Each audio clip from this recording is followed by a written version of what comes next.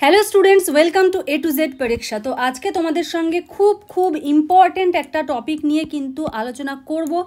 কেন ইম্পর্টেন্ট দেখো WBCS optional হিসেবে যারা ফিজিওলজি নিয়েছো ফিজিওলজি বুঝতে গেলে ফিজিওলজি জানতে গেলে সবার প্রথম যেই জিনিসটা জানা দরকার সেটা হলো হোমিওস্ট্যাসিস তোমরা যে কোনো বই হাতে নেবে, নিয়ে দেখবে যে একদম যে ফার্স্ট চ্যাপ্টার যেখান থেকে যেটা স্টার্ট হচ্ছে ফিজিওলজি সেই জিনিসটাই হলো হোমিওস্ট্যাসিস এবং এই হোমিওস্ট্যাসিসটা কিন্তু অনেকেরই বুঝতে অসুবিধা হয় যে হোমিওস্ট্যাসিসটা কী জিনিস?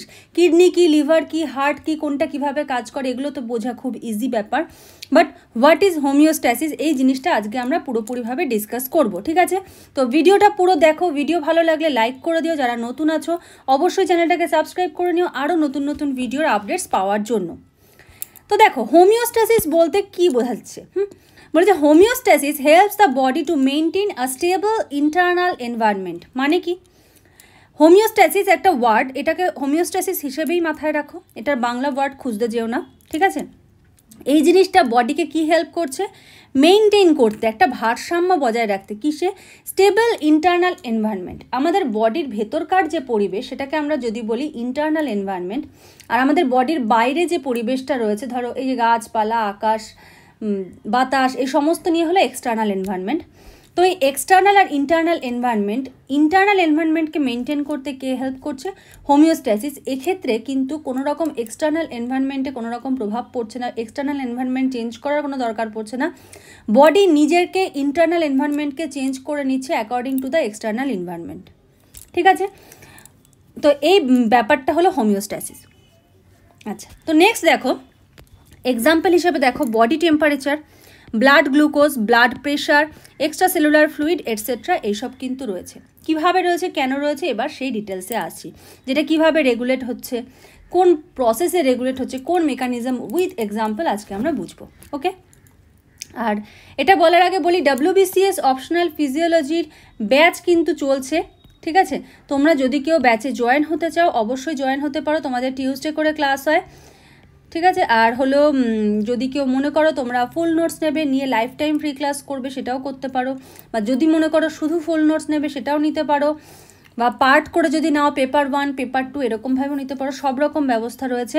যদি কারোর মনে হয় যে ক্লাস করবে, অবশ্যই কিন্তু স্ক্রিনে যে নাম্বার দেখতে পাচ্ছ, সেই নাম্বারে যোগাযোগ করে নিও। এতে কি হবে? নোটস নিলে কি বেনিফিটস পাবে? তোমরা হয়তো বলবে ম্যাম বইতে তো সব পাওয়া যায়। প্রথম কথা হলে, একটা বইতে তোমরা সব পাবে না। তোমাদেরকে অনেকগুলো ডিফারেন্ট বই অনার্সের সমস্ত বই তোমাদের কাছে রাখতে হবে যদি তোমাদের এটা একটা ভালো করে একটা র্যাঙ্ক করতে হয়, ভালো একটা স্কোর করতে হয়, ঠিক আছে? তো এক্ষেত্রে একটা কথাই বলব, যদি চাও একদম তৈরি জিনিসটা হাতের সামনে পাবে, তোমাদের কাজ হবে শুধু জিনিসটাকে পড়া। মানে বাড়িতে খাবার দাবার মা তৈরি করে দিলে, তোমার কাজ শুধু খাওয়া। সেই মায়ের দায়িত্বটা আমি নিচ্ছি। নোট টোট সমস্ত কিছু বইপত্র ঘেটে আমি তৈরি করে তোমার সামনে দেব। তুমি শুধু পড়বে, লিখবে প্র্যাকটিস করবে, ব্যাস। নোট বানানোর কোনো টেনশন নেই। ওই টাইমটা তুমি অন্য সাবজেক্টে ফোকাস করো, অনেক বেশি কিন্তু স্কোর করতে পারবে। আর অলরেডি কিন্তু ফিজিওলজি নিয়ে ডাব্লিউবিসিএস অপশনাল ফিজিওলজি নিয়ে কিন্তু এ টু জেড পরীক্ষা থেকে দুজন র্যাঙ্ক করেছে। তো র্যাঙ্ক হয় না, এটা কিন্তু একটা ভুল কথা। একজন হলো গ্রুপ এতে এবং একজন group A as a DSP কিন্তু দুজন র্যাঙ্ক করেছে, দুজনের ট্রেনিংও চলছে। ঠিক আছে? তো ওরা পারলে তোমরাও পারবে।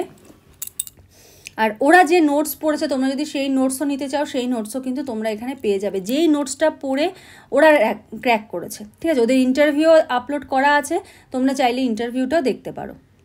চলো, এবার পড়াতে ফিরে আসি। দেখো রেগুলেশন অফ হোমিওস্ট্যাসিস ঠিক আছে? রেগুলেশন অফ হোমিওস্ট্যাসিসে কি বলেছে?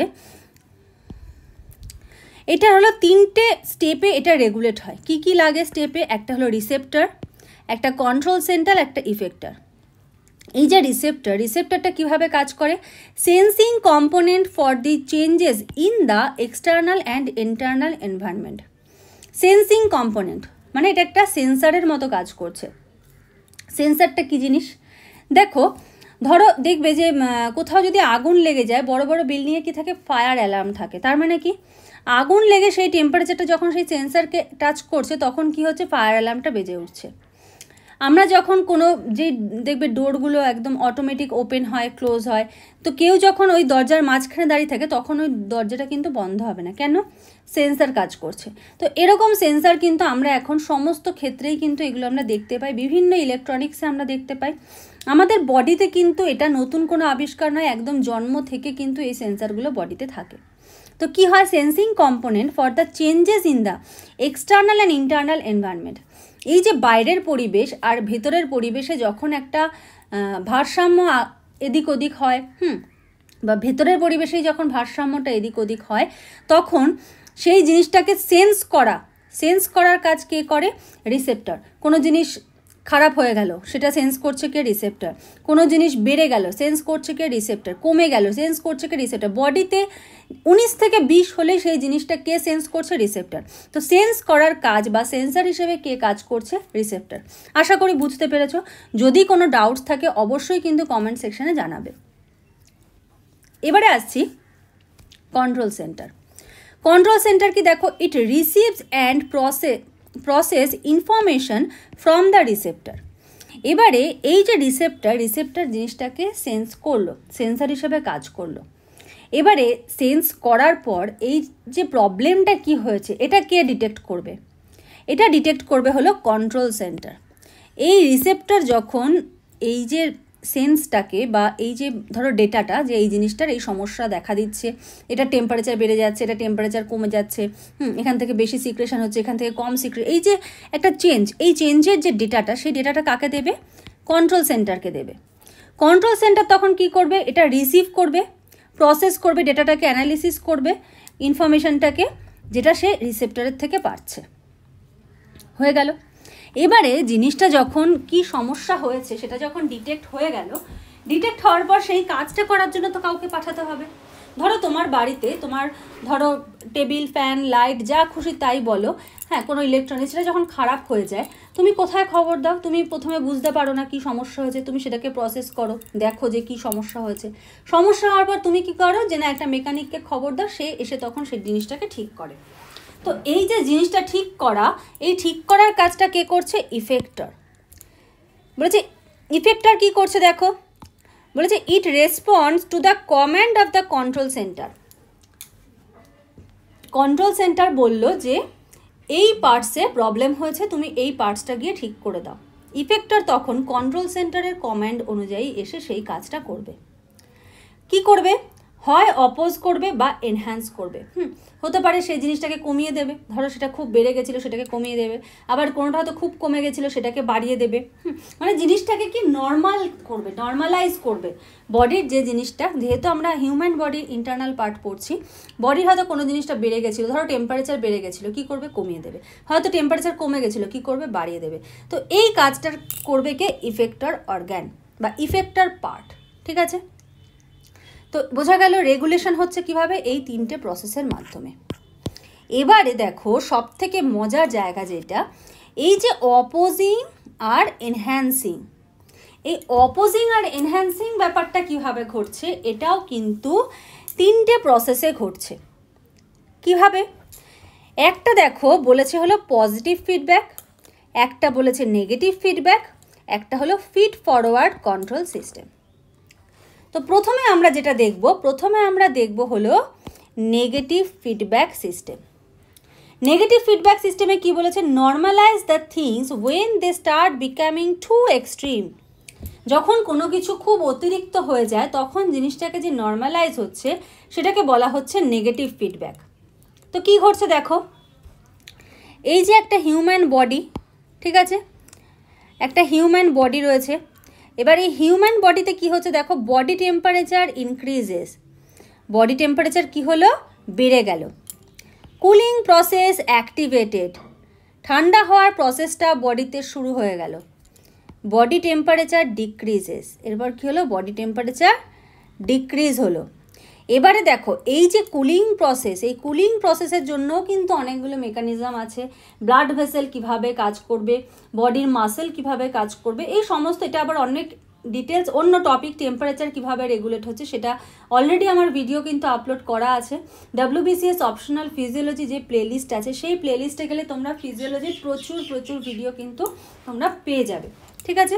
তাহলে কুলিং প্রসেস হলো হ্যাঁ সোয়েটিং হচ্ছে, ঘাম নিঃসরণ হচ্ছে বডি টেম্পারেচার ডিক্রিজ হয়ে আবার নর্মাল জায়গায় চলে আসলো। এবারে ধরো ডিক্রিজ হতে হতে আবার বডি টেম্পারেচার যতটা দরকার তার থেকে কমে গেল। তখন কি হবে? হিটিং প্রসেস অ্যাক্টিভেটেড দেখবে শীতকালে কি হয়? শীতকালে আমাদের কাঁপুনি হয়, তাই তো? শীতে আমরা কাঁপি। কেন কাঁপি? আমরা কাঁপি কেন? যখন আমাদের কাঁপুনি হচ্ছে, তখন আমাদের বডির মাসেল মুভমেন্ট হচ্ছে। যখন মাসেল মুভমেন্ট হচ্ছে মাসেলের মধ্যে কি রয়েছে? এটিপি এই এটিপিটা একটা এনার্জি প্রডিউস করছে, শক্তি উৎপাদন করছে।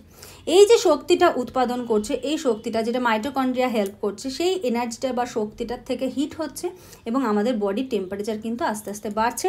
Body temperature increases to the normal level তো এই যে প্রসেসটা আশা করি বুঝতে পেরেছ। কোনো অসুবিধা থাকলে কমেন্ট সেকশনে জানাবে, আমি নেক্সট ক্লাসে আবার ডিসকাস করব। ঠিক আছে? এই যে প্রসেসটা এই পুরো প্রসেসটাকে বলা হচ্ছে নেগেটিভ ফিডব্যাক বোঝা গেল? এবারে আসছি হলো পজিটিভ ফিডব্যাক পজিটিভ ফিডব্যাকটা কী জিনিস বলেছে? Original effects of stimulus is enhanced বৃদ্ধি পাচ্ছে বাই দ্য আউটপুট কোনো একটা অরিজিনাল এফেক্ট ঠিক আছে? সেটা আরও বৃদ্ধি পাচ্ছে কোনো একটা আউটপুট বা এক্সটার্নাল কোনো একটা স্টিমুলাসের দ্বারা। ঠিক আছে? যেমন দেখো, যদি এরকম হয়, ধরো অ্যাজ ফার এক্সাম্পল আমি যদি বলি, ধরো তোমার সাথে তোমার কোনো বন্ধুর খুব রাগারাগি হলো, হুম, খুব ঝামেলা হলো, এরকম কিছু হলো। এবার কেউ এসে তার অ্যাগেনস্টে কী করে? অনেকে একটা মানে আরও যাতে ঝামেলাটা বাড়ে, তার তোমার আরও কিছু কথা তোমাকে এসে বলো তোমার আরও রাগ হলো। ঠিক আছে? তার মানে কি এটা এনহ্যান্স করল। মানে তোমাদের ওই যে প্রবলেমটা ছিল প্রবলেমটাতে পজিটিভ ফিডব্যাক দিলে যাতে প্রবলেমটা আরও বেড়ে যায়। বা ধরো, তোমার এক, যারা ধরো মনে করো টুয়েলভ পাস করেছে টুয়েলভের রেজাল্ট আসলো, তারপরে ধরো নিট দিল নিটের রেজাল্ট আসলো। যদিও এখন নিট নিয়ে বিশাল একটা নিটের স্ক্যাম হয়েছে একটা বিশাল, সেটা নিয়ে প্রচুর আলোচনার বিষয় সেটা। যাই হোক, এটা আউট অফ দ্য টপিক আমি সেই টপিকে আসছি না। ধরো সে এইচএসে রেজাল্ট করেছে, খুব তার মনে খুব আনন্দ রয়েছে। এবার যখন নিটের রেজাল্ট বেরোলো নিটেও সে খুব ভালো র্যাঙ্ক করল। তাহলে কি হবে? তার আনন্দটা আরও বেড়ে যাবে। তার মানে কি? নিটের যে রেজাল্টটা সেটা একটা এক্সটার্নাল আউটপুট হলো। এক্সটার্নাল আউটপুট হিসেবে কাজ করল কি? তার আনন্দটাকে আরও বাড়িয়ে দিল এনহ্যান্স করে দিল। তো এটা কি একটা আনন্দের জন্য একটা পজিটিভ ফিডব্যাক হিসেবে কাজ করল। ঠিক আছে? এবার আমাদের হিউম্যান বডির ক্ষেত্রে যদি আমরা দেখি পজিটিভ ফিডব্যাক কীভাবে কাজ করছে সব থেকে একটা বড় ভালো উদাহরণ হলো, দেখো milk secretion by the mother's memory gland is one of the examples of positive feedback mechanism কীভাবে হচ্ছে?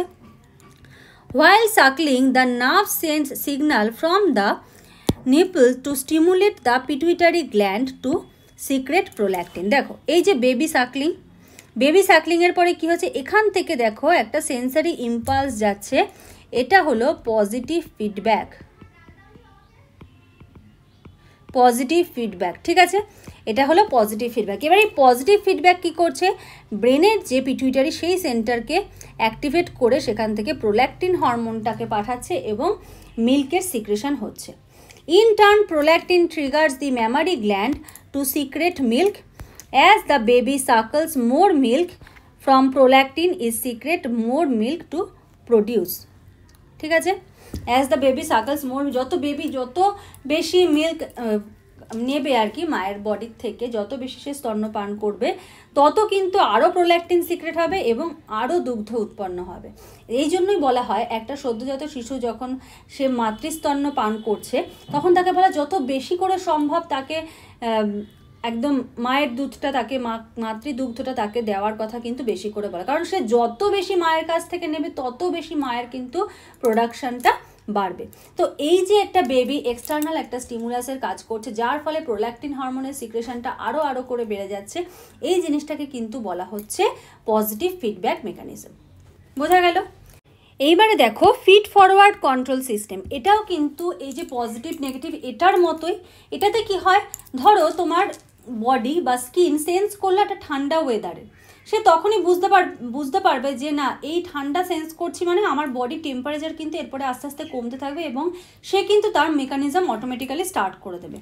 যেমন feed forward control is a process adjusting behaviour in a continuative way automatically এটা কিন্তু অ্যাডজাস্ট হতে স্টার্ট করে দেয়। Example দেখো a common example of feed forward mechanism is responding to a cold weather by shivering ঠিক আছে? একটা ধরো ঠান্ডা ওয়েদারে আসলো ঠান্ডা ওয়েদারে ডিটেক্ট করবে, তারপরে কাঁপুনি হবে এরকম কিন্তু না। ঠান্ডা ওয়েদার আসা মানে কিন্তু কাঁপুনিটা কিন্তু স্টার্ট হয়ে যায়, ঠিক আছে? তো এটা হলো ফিট ফরওয়ার্ড মেকানিজম তো আশা করি হোমিওস্ট্যাসিসটা কী জিনিস, কীভাবে মেনটেন হয় তোমরা বুঝতে পেরেছ। এবার এই হোমিওস্ট্যাসিসের উপর ডিপেন্ড করে কিন্তু বডির প্রত্যেকটা অর্গ্যান প্রত্যেকটা পার্টের ফাংশন মেকানিজম সমস্ত কিছু চলে। তো ফিজিওলজি জানতে গেলে হোমিওস্ট্যাসিস কিন্তু প্রত্যেককে জানতে হবে। প্রত্যেকে খুব ভালো করে পড়ো, ভালো করে প্রিপারেশান নাও। আজকের মতো এখানেই শেষ করছি নেক্সট ভিডিওতে আবার তোমাদের সঙ্গে কথা হবে, দেখা হবে। আজকের মতো এইটুকুই। Thank you